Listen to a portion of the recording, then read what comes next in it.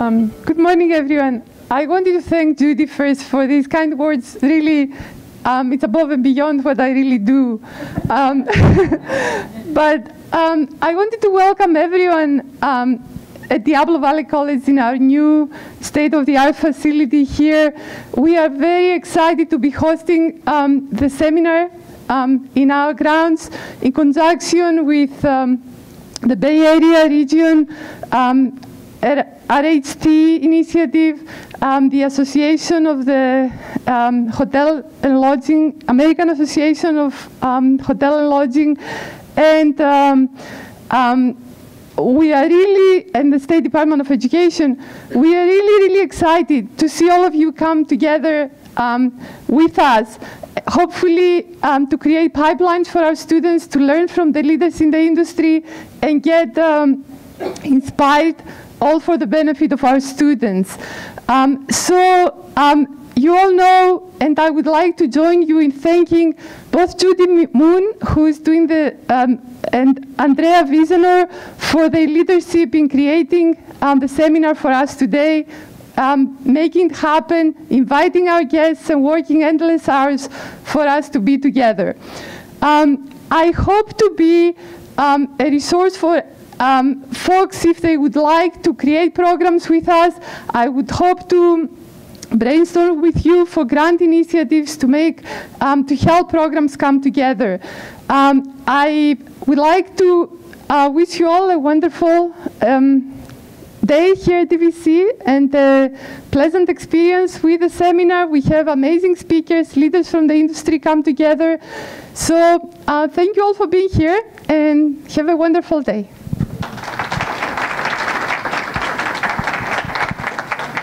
Thank you, thank you. I'm going to actually put this in the holder because I'm definitely not a microphone person. Good morning. Everyone remembers me from yesterday. Um, Andrea Visner, Deputy Sector Navigator of Retail, Hospitality, and Tourism. And that is the the quiz question for Saturday, so please make sure you know what that means. um, I did not create the title, I promise.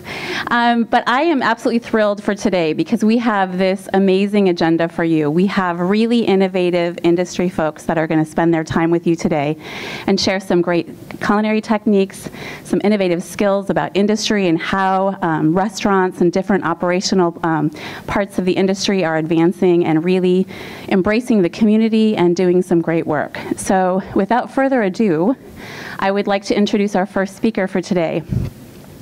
Stephen Satterfield is a manager at Nopa Restaurant in San Francisco.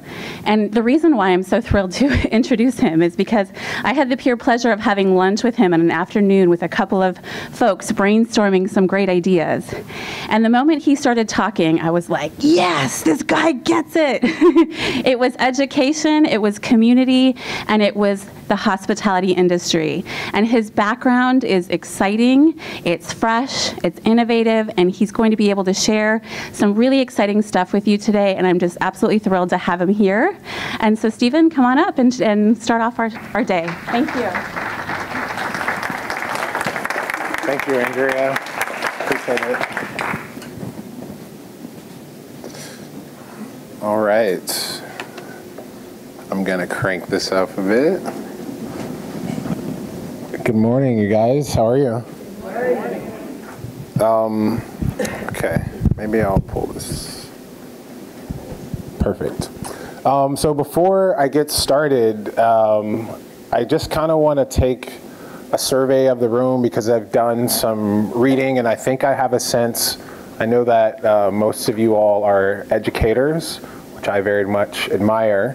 Um, but maybe just a show of hands, uh, how many of you all are actually teaching in uh, hospitality or the culinary arts? All right, so we have a, a pretty well-versed room here. And I'll just uh, start off by giving you guys a little bit of background, my own personal narrative, and the way that many of these talks begin.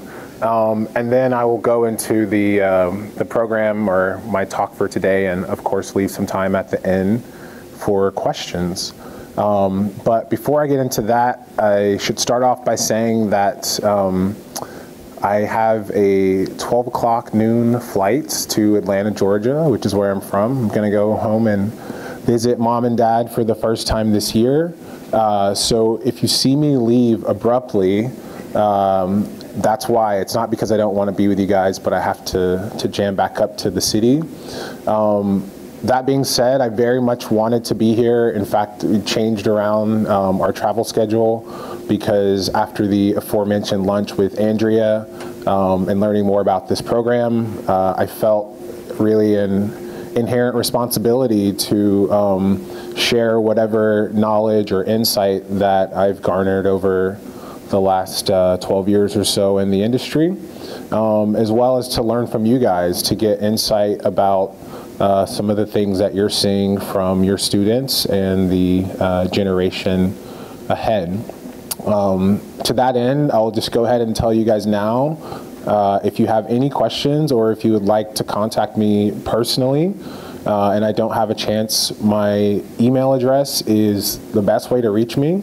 Um, and that is Stephen, it's S-T-E-P-H-E-N, at Nopalize, it's N-O-P-A-L-I-Z-E dot com. And we'll talk a little bit about Nopalize uh, here in just a second.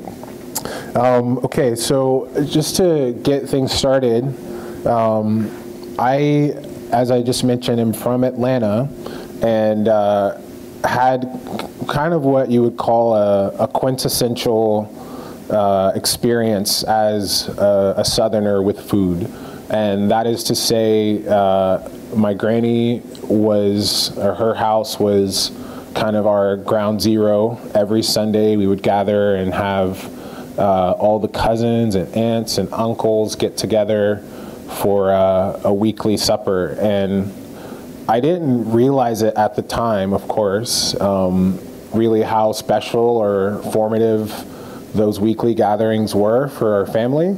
Um, but as I've grown older, I can say unequivocally that the reason that I developed such a profound love for food um, is because it was instilled in me when I was very young. Um, sadly, my grandmother passed uh, when she was just 59 years old. She had diabetes. Um, so uh, we, or I guess she never really had a chance to see me grow into, uh, you know, her grandson who was so into food because she so loved food. Um, and unfortunately, um, you know, due to some of the the dieting or lack thereof, um, you know, she wasn't able to to be with us. Um, and you know, I, I know that sounds very somber, um, but that was in 1990. And um, over the course of the last, you know, 24 years or so, obviously we have come quite a long way in the way of nutrition and understanding more about health. Um, and I think that one of the most exciting things that's happening in the food community isn't just in the realm of um, access to food and understanding food and so forth. Um, but really, we're eating, uh, or the generation that's coming up is is eating better than ever, um, and it's almost kind of a, a, a default, a byproduct of our uh, growing and continual interest in local and sustainable food. Um, so anyway, we we live and learn, but um, those were definitely the seeds for me um, in terms of getting into food. But it wasn't really a linear path. It wasn't as if I just grew up and uh, you know was like boiling eggs when I was six years old, you know, or scrambling or whatever. Um, I actually resisted cooking for quite a long time because I was a spoiled brat. Because um, after my grandmother, uh, my my father kind of took the lead in our family in terms of um, of hospitality and also cooking. My dad is an amazing cook. So every Saturday morning, um, we would have these like really, really elaborate breakfasts. And I learned later that he got as much out of cooking it as, and probably more than we got out of eating it. Um, but I think, again, that sort of innate sense of hospitality, and um, of course, you guys are all food lovers, so you know that feeling very well. You know that um, cooking for people, especially loved ones, uh, is oftentimes uh, a bigger thrill for the person cooking than it is for the person eating. So uh, I've definitely taken that to heart as well. Um, so after being spoiled rotten uh, and growing up in Atlanta, I had a moment. Uh, I think it was, oh yeah, it must have been my senior year of high school, um, where I decided, you know what, I'm ready to leave Atlanta. I've seen enough here. Uh, I was not an excellent student. Uh, in fact, I was a very poor student, um, which is kind of a, a, funny thing for me to say in a room full of educators. But I can tell you that because my mother um, is actually uh, an elementary school principal. And um, in fact, when I was in her belly, she was a, a, teacher in Atlanta. So I really, really grew up in the school system, and uh, I have uh, a tremendous appreciation for um, the role of educators and, and how important your work is. Um, and again, that's part of the reason why I, I wanted to be here today. Um, albeit unlikely given my uh, academic track record. Um, but when I was when I was in high school, um, I, like many angst-ridden young teenagers, uh, decided I wanted to try something totally different and to move beyond my environment, see something new. So I moved to Eugene, Oregon, um, which was very different from Atlanta. It's still very different from Atlanta. Uh, and I moved there without ever having gone to visit. Um, it, yeah, exactly. Uh, if you can, if you can imagine that, uh, because it fit my only criteria of being as far away from Atlanta as possible. so mission accomplished there. Uh, three weeks after I applied, they said, "Sure, you know, come to Eugene." I think this is probably before they uh, they must have had looser academic standards back then. Um, so I, I, moved to Eugene, Oregon, uh, I guess that was in 2002. Um, and that was really, unbeknownst to me at the time, what kind of set my whole career trajectory off. Um, I thankfully ended up loving Eugene. It's a, a, really wonderful place to go to college. They have a beautiful campus. Uh, it's ridiculously green all year round because it rains all year round. Um, but uh, it was really an amazing uh, experience for me just being on the West Coast, being in the Pacific Northwest. Um, and I mean, I guess I should mention that in my senior year of high school, I, I did start to um, sort of dabble a bit more in food. Uh, not necessarily as uh, a cook, although I, I, was following some recipes.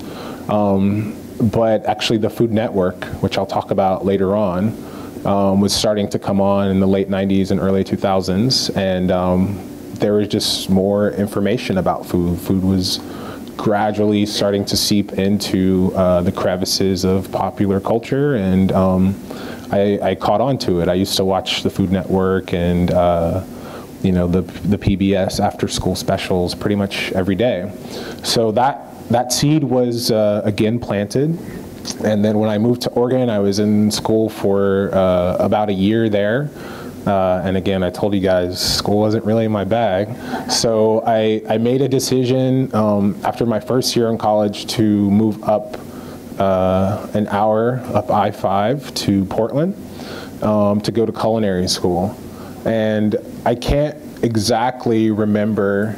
Um, what the impetus was. It, it might have been, um, you know, the financial burden of being in school. It might have just been the fact that I was really far away from finding my voice, or it could have just been uh, that I was like, you know, the last time I made a really spontaneous, impulsive decision, it kind of worked out. Maybe I'll do the same thing again.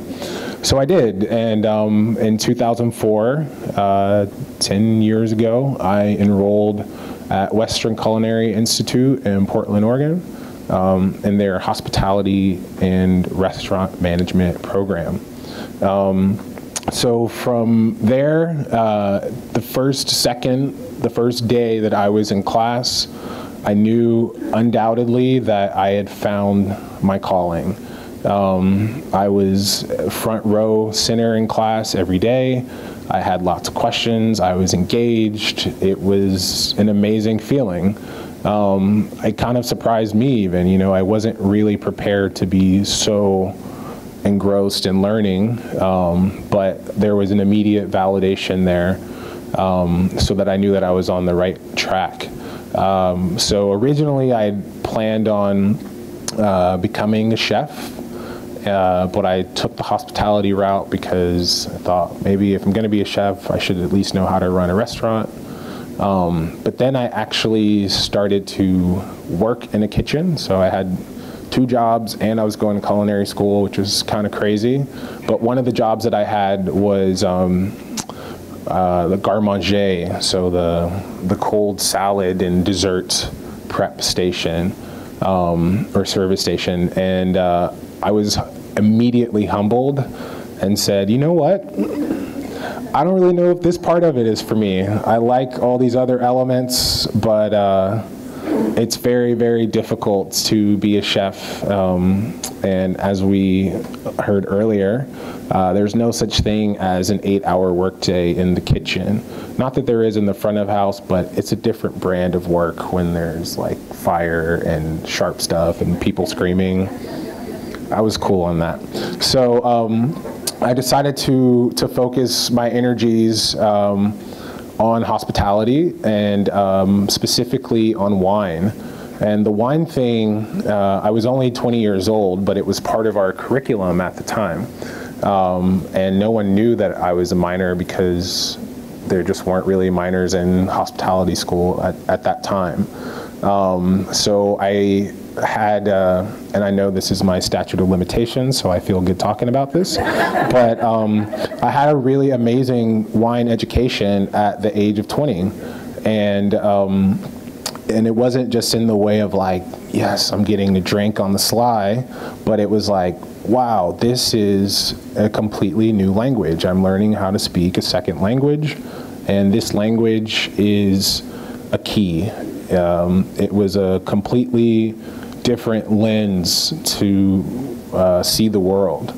And because I was in Oregon, um, I had the great fortune of my teacher, the educator, um, was also a winemaker.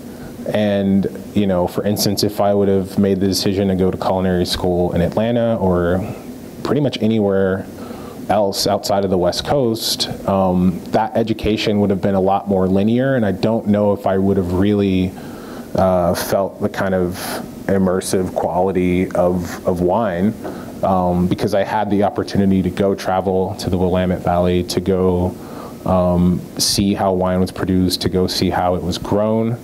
Um, and that early, um, I mean, not just in my years, but also kind of the, most people start off drinking wine, uh, you know, with friends or maybe in college, and you kind of work your way up.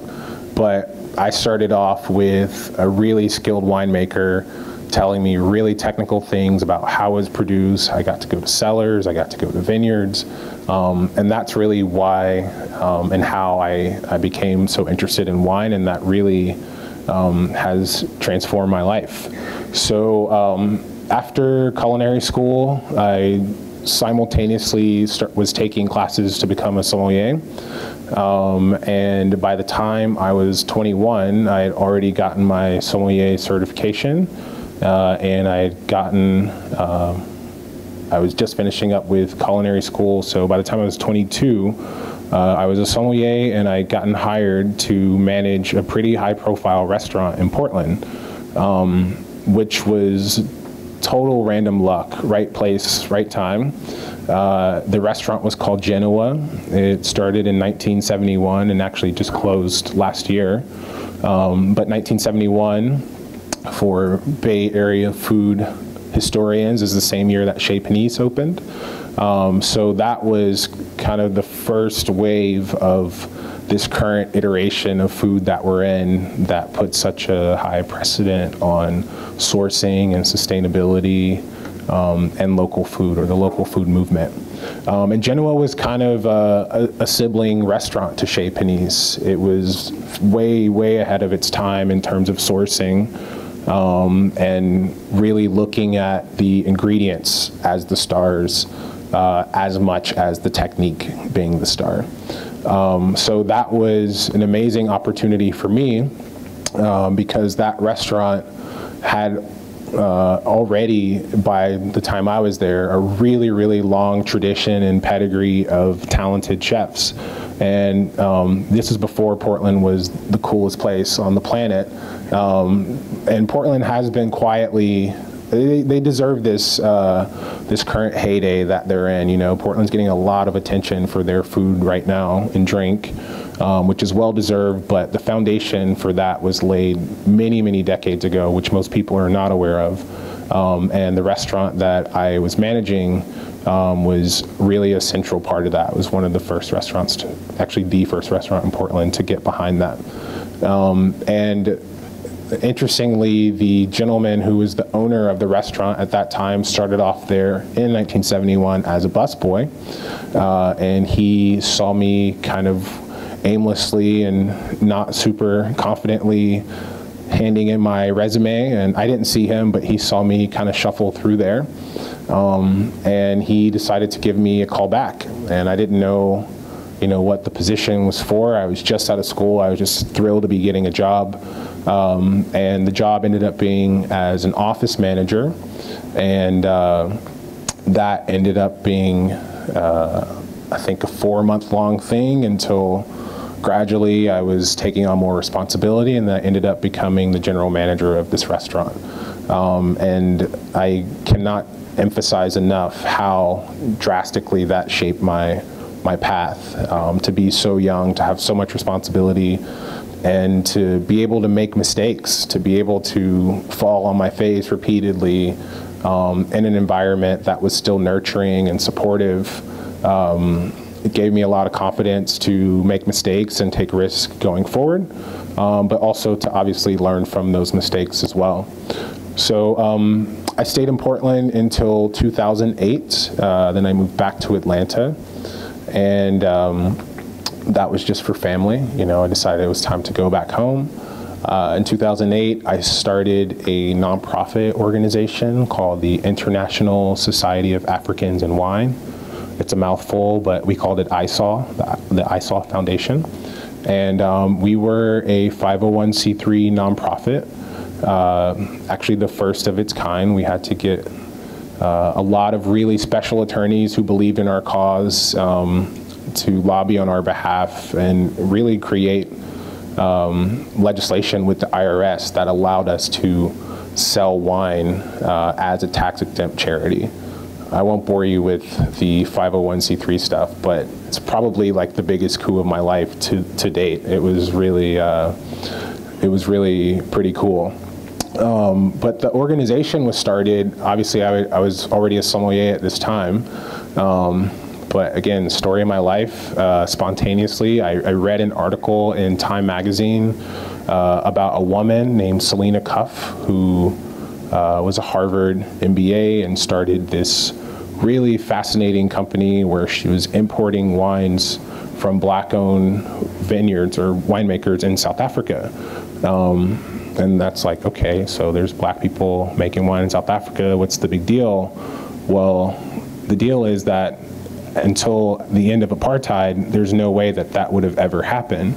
Um, and even after the apartheid, it took many years of legislation and um, changes in policy before blacks could take on a more meaningful role in the wine industry. Um, so essentially what you had is a labor force where over 90% um, of the, the workers were all black, uh, and yet 0% of them were owners, and maybe 1% were, less than 1% actually at that time, were in management. And uh, in 2008, there was just two black families that owned their own uh, winery or vineyard. So obviously, as an African American and from the South, I said, you know what? This is wine related. I like this. There's like a cultural element to it. There's a need for education. There's a need for shift. Um, I should be involved in this. So I reached out to Selena and um, I said, you know, I really like what you're doing. I would like to kind of be the nonprofit equivalent of what you're doing. And um, that is how I started this nonprofit, just from reading an article in Time. Uh, that was um, a really interesting situation because shortly after we launched, uh, the financial crisis of 2008 happened. I was actually in South Africa as that was happening. Um, so we got off to a good start with fundraising, and um, slowly but surely our funds started to slow down. Uh, and in 2010, uh, I had some hard choices to make about where to go with the foundation versus my own personal career. Uh, in 2010 is when I moved to San Francisco. Uh, I know this is this feels like I'm now that I'm talking to you guys, it's like I'm talking in a loop as I'm giving my own narrative here because there are all these cornerstone moments of of really good fortune. Um, in 2010, I went to Nopa Restaurant, which is a fabulous restaurant uh, that I'm still a manager at. Um, and I still love it just as much, which is the biggest testament and compliment that I can pay to the restaurant because I've spent many, many hours there. Um, but I, I, went there as a diner first and had a phenomenal time. Um, and I went back and said, you know what? I just moved to California. I wasn't even living in San Francisco. Uh, I said, this is one of the best restaurants I've ever seen in my life. I just have to be a part of it. Um, so I kind of was very modestly looking for a job as a busser or server or whatever. I would have even taken a job in the kitchen. Um, but just so happens that the original GM was had just put in his notice two weeks before uh, I was there with my resume, and I didn't know anything about San Francisco or NOPA. And I said, "Hey, I came here last week. I had an awesome time. Uh, I would love to work here. I'll do anything." Uh, they were like, "Cool. You want to manage?" I was like, "Not really." I had already worked in restaurants. I knew exactly, um, you know, what that would entail. I knew that I would be giving my life over to this restaurant, but. Um, as someone who was really invested in the business, I knew that the quality of the operation was really uh, an opportunity that I would not be able to turn down. Uh, so I accepted that position uh, because I felt the universe sort of forced my hand on that one. And uh, I'm very glad I did. So that was four years ago. And uh, in the four years that I've been in California, I've loved every second of it. And I because of the type of work environment that has been created at NOPA, which is to say uh, an environment that supports and nurtures people's special interests and talents.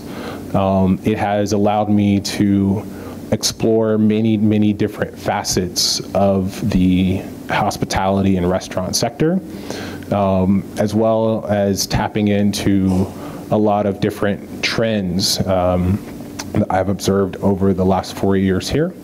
So that's what I want to talk to you guys about today. Okay. All right, the golden age of food. This is kind of um, a new moniker that I've recently adopted uh, because I feel that it, it best describes this current period that we're in.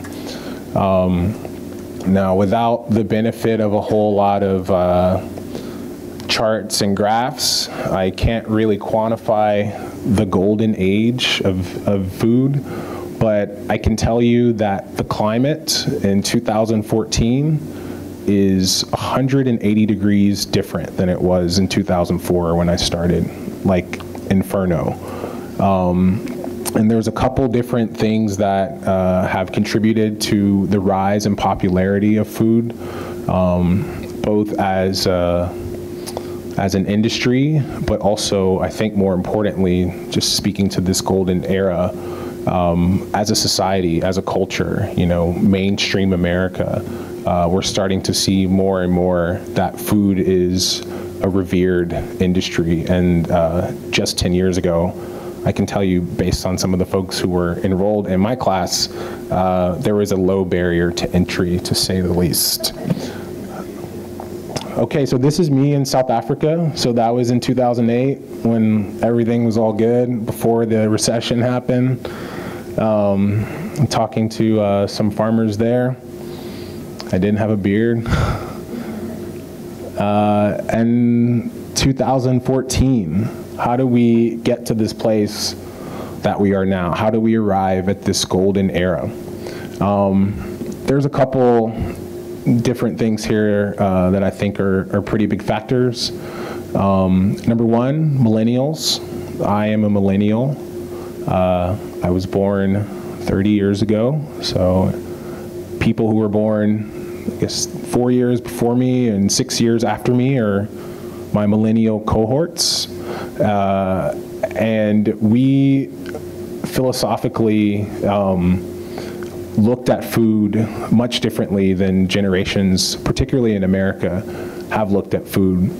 Um, millennials are very, very well known for being uh, spontaneous, check. Uh, very well known for being having a, a, penchant and an interest in technology, check. Uh, they are known for being incredibly impatient, check. Um, so that's kind of these are some of the the key themes of our generation. Um, but I I would contend that in food and in um, the restaurant industry, this, some of these qualities have actually benefited both the millennials and the industry. Um, this sort of exuberant enthusiasm um, is always going to pay off in the kitchen, uh, as well as the access to technology. Now, part of that, it wasn't just millennials creating it, but really utilizing it, really making the world a much smaller place by communicating with chefs from all over the world um, to just see what people were doing, what people were eating. Um, we also have the Food Network, which I mentioned a little bit before. So the Food Network launched, uh, I believe, in 1995. And um, it wasn't really until the late 2000s when the Food Network got its legs. Um, with some early hosts like um, who were the early guys? Bobby Flay was uh, one of the first chefs hired there. He's still on the network. Uh, shortly after him, Mario Batali was hired, who has always been a favorite of mine and actually probably taught me as much about food as uh, anyone else. He's a brilliant cook. He's now moved on to manage his empire of restaurants and media and so forth. Um, but what the Food Network did was it well, first of all, an Emeril Lagasse. So Emeril is really the guy that I think kind of changed the game completely um, and brought food into Middle America. Um, it was also the first time that you saw this theatrical quality of food, which now dominates the Food Network, um, and unfortunately has corrupted the brains of these impatient millennials who now just want to be in culinary school so they can get on television. Um, so there you go. It's that's the dark side of the millennials. Um, we also have um, Anthony Bourdain, personal hero of mine. Uh, in 2000, Anthony Bourdain wrote a book called Kitchen Confidential. Uh, I read that book uh, in 2003, and I haven't been the same since. Uh, I can't tell you how many chefs that I've talked to over the years who have said to me, or I guess just conversations that we've had around Kitchen Confidential, because it was this really um, whimsical, kind of demented, but really, really funny uh, firsthand account of working in kitchens. And uh, it was the first time that people who work in kitchens, who kind of have always lived by this, you know, sinister, bad boy, uh, underbelly code, had someone who was representing it in a really honest um, but funny way. And there was a number of chefs and a number of people who really felt validated in being in this industry and, and really felt like we had a spokesperson. And now, of course, 14 years later, you see Bourdain with uh, his own television show on CNN, which is like, you read that book, no one saw that coming. Um, but again, I think it speaks to this broader uh, cultural acceptance and this this golden era of food where we're seeing uh, this shift. You know, people who were once uh, kind of subjected to the back of the house are now at the forefront of your television screens. Culinary schools, hey, that's you guys. Um, maybe not a culinary school overtly, but culinary education. Um, I'm going to talk more about this one later on because I have a lot of thoughts about culinary school uh, as someone who went to culinary school, but also um, would love to have, I guess, a bit more of a, a, back and forth with you guys about where I think we are with culinary school. So stay tuned for that one. And then um, farmers markets. So uh, farmers markets, I actually do. Oops, that's not the one. I actually do have a chart for farmers markets. And what you see here, um, so this is from the USDA. Uh, this is a year over year graph uh, from 1994 to 2014. And you can see what's happening with farmers markets in our country. Um, it's only moving in one direction. Uh, I think probably even without the benefit of this graph, many of you guys have seen in your own communities. Um, you know, even when I go back uh, to my old neighborhood in Atlanta, there are farmers markets in parts of Atlanta that you would not believe. Um, and it's an amazing thing that has happened.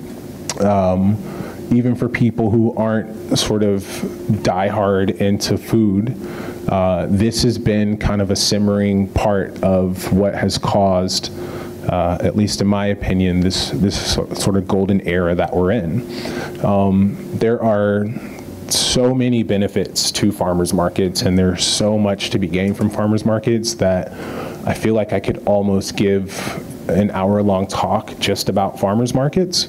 Um, but in terms of takeaways, I think that what's really important to consider when you're at the market is that it is an intensely political act by virtue of you showing up there and buying produce from the people who grew it. If you look the person in the eye that grew your food, that is uh, an immediate uh, rejection to the corporate food system that this country has been built upon.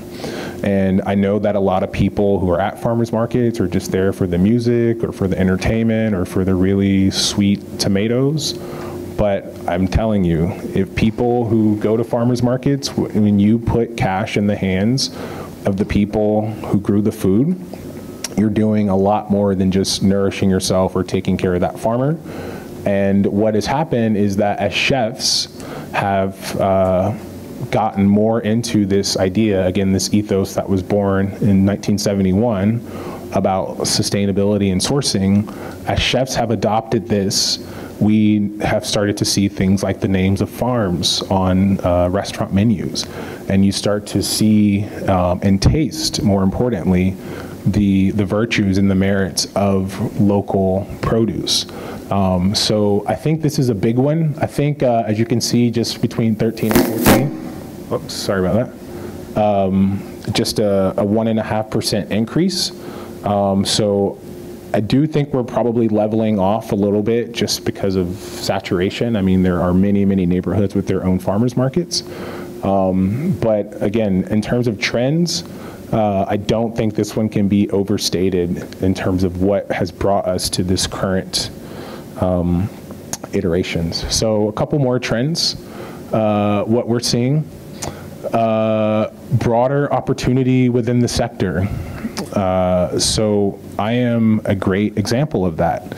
Um, because this industry has seen such tremendous growth uh, over the last decade, what has happened is that food culture has moved beyond the confines of a brick and mortar restaurant and it's kind of morphing into all sorts of different places. It's moving into the nooks and crannies of um, places that food hasn't usually shown up. I'll give you guys an example of that. For instance, um, we all know that technology in San Francisco is a really big deal. Um, the economy in San Francisco is booming as the technology industry is booming. But one of the uh, largest markets for local farms now is actually the cafeterias of tech companies.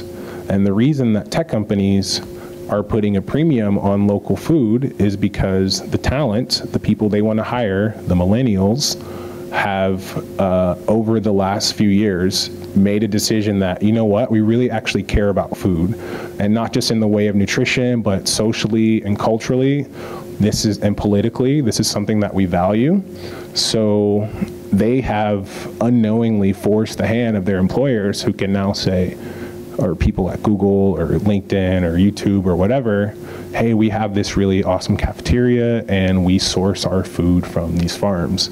Uh, and then, of course, when you know some of the competition, like maybe Facebook or something, says, oh wow, now LinkedIn is offering local produce from farmers, we have to do the same thing. So this is something that's really, really recent. I mean, over the last three, four years.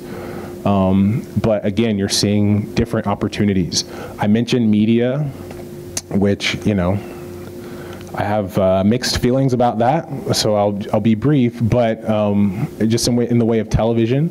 Uh, but media has created uh, an enormous opportunity uh, particularly with the ease of publishing. So um, you've seen a lot of food bloggers who have been thrust into different degrees of internet prominence and uh, sometimes even larger than that.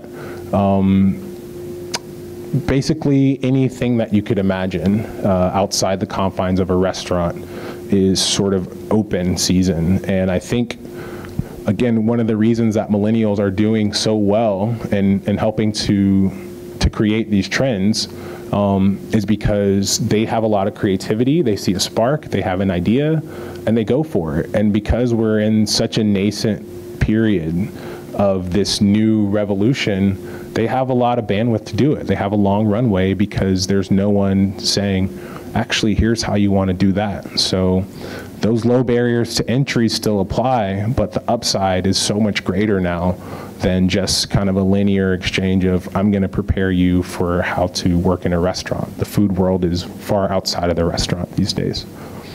Uh, farm to table and sourcing we talked about. Uh, eschewing culinary schools. Uh-oh. Uh, I'll come back to that one in a second. The food world gets smaller. So this is a really, really big one. Does anyone know uh, what the most popular or I guess the quote unquote best restaurant in the world is considered right now? Say again? El Bulli did close, unfortunately. This restaurant is heavily influenced. I should have had El Bulli on the slide, actually.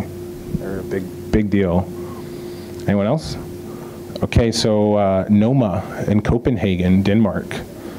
I heard someone say it. Don't be shy. You know what's up um, Noma restaurant. And I, what has been amazing about uh, the chef there, Rene Redzepi, and about Noma is that they have created an entire community uh, of chefs from all over the world who go eat there, go visit there, that collaborate with them.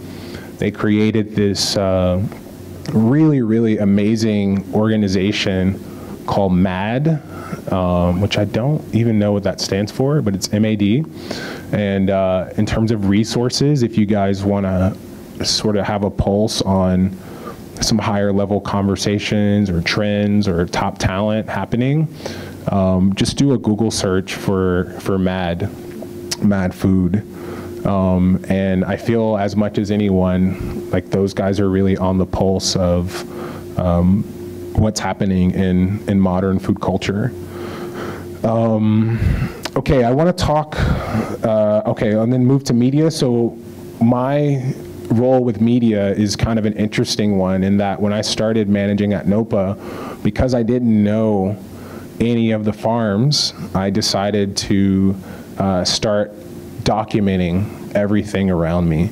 Um, I started to document, you know, different wines, different local farms, and those notes I kept privately, and then one day decided to share with the staff, and then that became a Tumblr blog, and then the Tumblr blog started getting more readership and traction.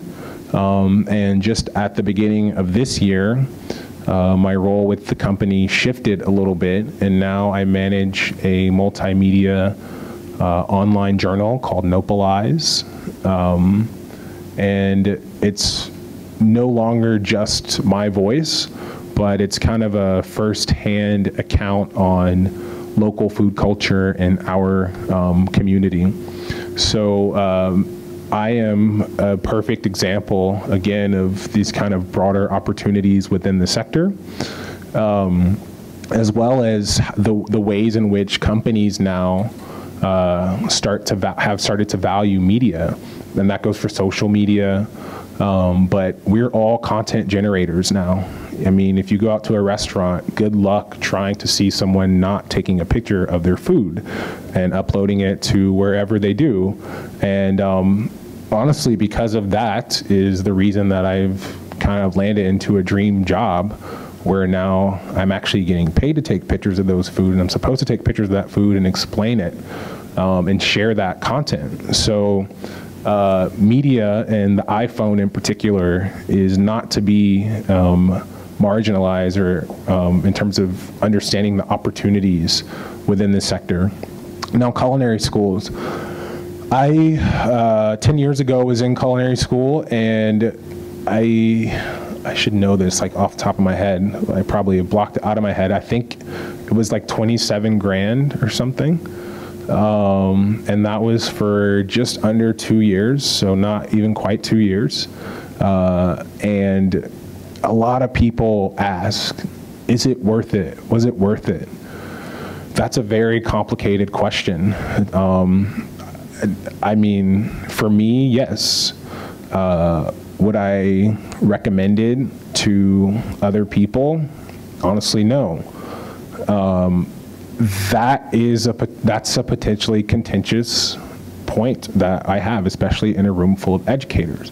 But what I will tell you guys is that um, unlike this university, a lot of culinary schools, um, especially in the late 2000s, uh, started to increase their prices dramatically and also uh, water down some of the content of the classes. And that's not just my opinion, that was shown in many, many court cases, which is why uh, a lot of those schools had to pay out large sums of money to their graduates who they promised things that they were not actually able to deliver on.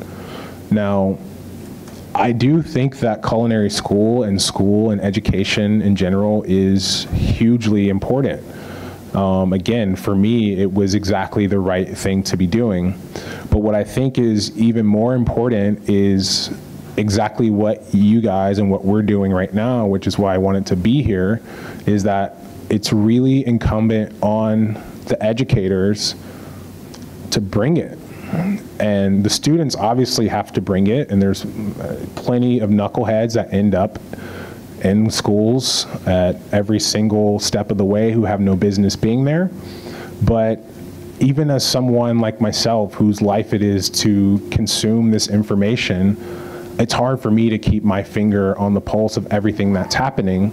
So similarly, I think that, you know, education has to be moving at the speed of what's happening around us. And this is not a stagnant industry. So I think a lot of the frustration, at least on behalf of my colleagues and people that I've, I've talked to this about, and this is a very, very hot topic in kitchens and among restaurants, because you have a lot of young people with a lot of debt who really wish they didn't have that debt. Um, now my debt's almost gone because it's been so long, and I've stayed on my track, but there have been a lot of people who are now doing something totally different because they feel that they have to pay off this debt. So the price tag is one thing, but I think beyond the price tag is just the sense of value. Was it worth it? And repeatedly, I have heard from culinary students from all over the country that I don't really know if it was worth it.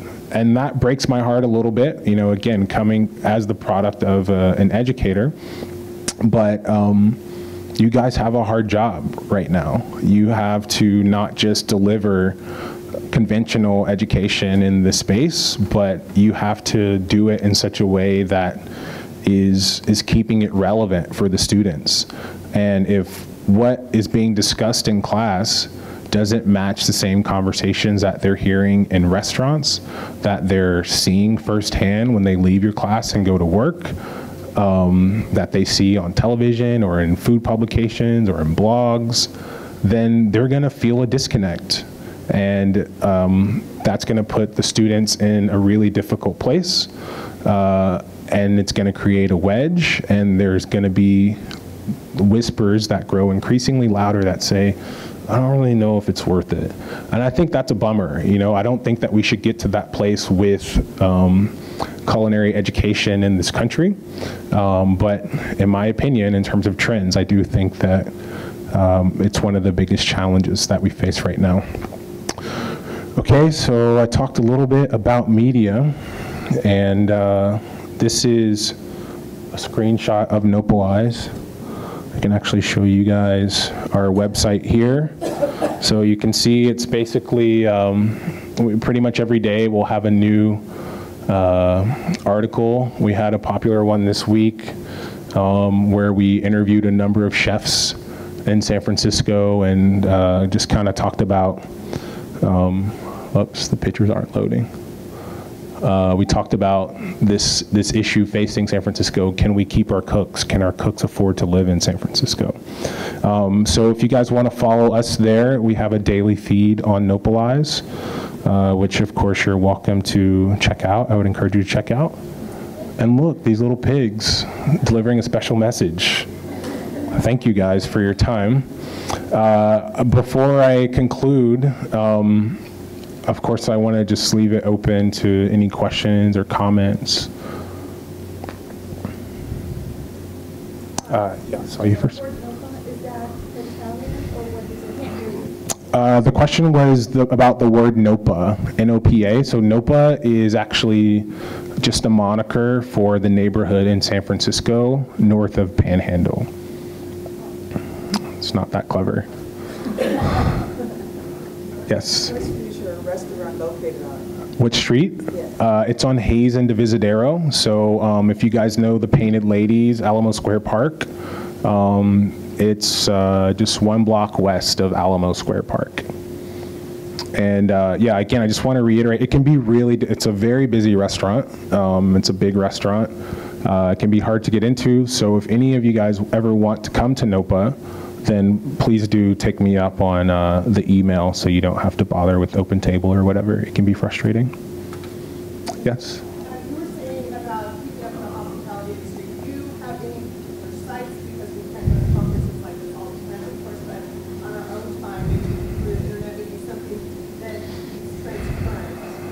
Uh, You were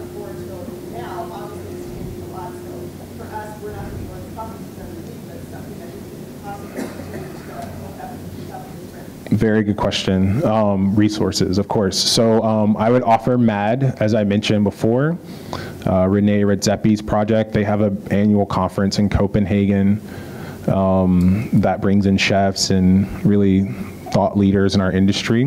They do an amazing job with media as well. They have YouTube and on and on. Um, locally, there is a nonprofit called CUESA. They manage the Ferry Building Farmers Market in San Francisco. It's C U E S A. Um, and they are kind of my go to for local farms. They have re- these really great profiles on who's doing what and where. Uh, I again, I, if I may, also offer our website Nopalize. Um, we do a number of podcasts um, with thought leaders we, and chefs. We have uh, food videos, um, all kinds of different mediums. Um, and I'm trying to think here on the fly. Those are some pretty good ones. Oh, there. Speaking of podcast, um, if you guys are into podcasts, there is a podcast called uh, it's Monocle Magazine. They have a weekly podcast called The Menu. Uh, it's recorded in a coffee house in London, and um, it's some of the smartest food talk that I've seen out there, or heard, I guess. Um, yes. Respectfully, what do you feel about the James Beard Award system Good question. I've never been asked that question. Um, so, respectfully, uh, I think that um, uh, I think it's a bit antiquated, but I think it's an, an immense honor. Um, so it still has a lot of relevance. It carries a lot of weight in our community. Um, it's still a really big deal. Some restaurants more than others, um, but I think that as people become more confident in their own aesthetic and style and preferences, um, kind of like food critics, I think you'll see the continually or the continuing um, devaluations of organizations like that, just simply because um, we another trend. We're kind of post authority. Everyone's kind of their own authority now because they have their own blog or website or whatnot. So. If you had a high school student standing in front of you, what would you tell them to do? Or as far as like if they were saying they don't think culinary schools were for faculty, that there's no. Yeah, if they. They wanted to stay in the. Yeah, if they want to stay in the industry, I mean, we we can take a page from Europe. Um, their education is based on um, uh, a internship system, really. Uh, I mean, they have a they have another name for it, but it's all about mentorship and starting at the bottom and earning your stripes. You guys know this quite well, um, and I think that our country, and if there is sort of a post culinary school um, movement. I don't know that there's any data to support that. That's just kind of like my gut is that we might be moving in that direction. Um, I think that the the easiest solution to that would to be put some more framework and structure around um, mentorships in schools, um, especially for you know lower income people. Uh, it's an amazing industry to be in because you don't need all of the typical accolades and degrees. Um, barrier to entry remains low, and the upside is high and getting higher um, with all of these new opportunities within the sector. So just tell them to stay with it and get in a kitchen, get in a garden, start volunteering, and go from there. And yes, go to community college with great educators who are engaged. Anyone else? Yeah, one more. Well, it's kind of, well, I'm just gonna- every year I do a stage in Europe over the summer. Mhm. This year is the first year that I'm taking eight students with me. Cool. Just that, they're in high school. Lucky them. Um, I'm just wondering if, it's kind of expensive, hmm um, because they have to get their own airfare. Um, Do you have an easy way for me to sort of introduce that concept to my school district? To sell them on it? I don't think they understand the value. I think they're looking at it as a summer field trip sort of thing. Yeah. Uh, you know, I can't really speak to that one. Um,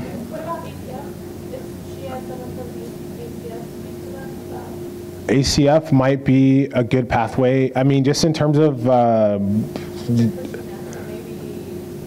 yeah, I, I don't know. I mean, drawing up funds from schools. Uh, you guys are all saints for the work you do. I, this is an amazing building, and so I just don't- I don't know how it works. I don't know how people get money from schools. Um, so. Yeah. don't have the funds, it's the politics of educating the district on what we're doing. Yeah, um, They don't know what a study is, so they're not. I,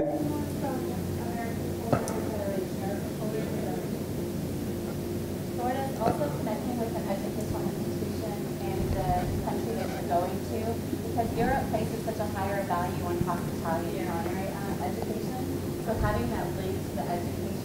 provider in the country, I think would be super powerful um, when having that discussion with administrators and just being able to um, add some more ground behind it. Yeah. Do you have Oh. any other questions for Stephen? Yeah, sli- go ahead. Yeah. I just wanted to say, um, you're a wonderful speaker. Thanks. Thank you.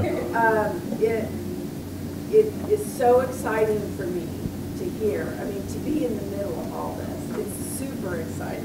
Thanks. Yeah, me too. Um, I, I need to have an, I need to have a conversation with the other teachers here about how we're going to put that into our classrooms. Um, You know, I mean, it's, it's such a, it's, it's this level and our kids are coming down here.